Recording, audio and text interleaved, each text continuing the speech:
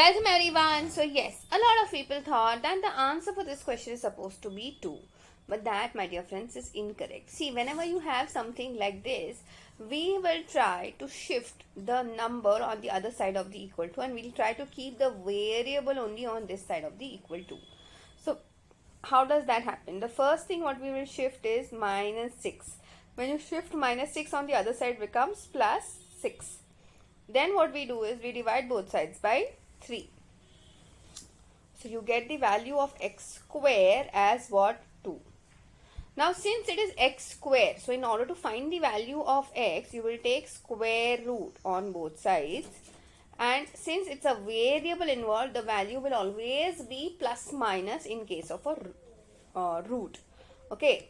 So basically here we can say the value of x is either root 2, positive root 2 or negative root 2.